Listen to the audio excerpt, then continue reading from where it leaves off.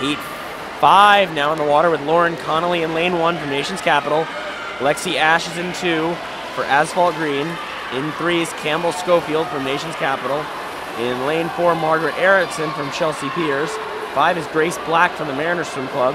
In six is Zania Zeladin from Nation's Capital. In seven, Michaela Lee from Sachem Swim Club. Eight, Natalie Johnson from the Wilmington Aquatic Club.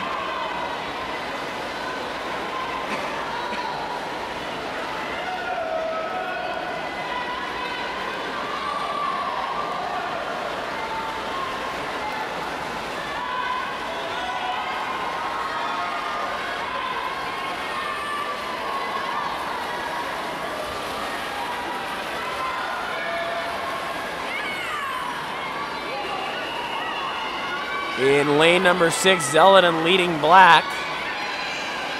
Ash up there in lane two is looking strong, but not going to catch either of the top two.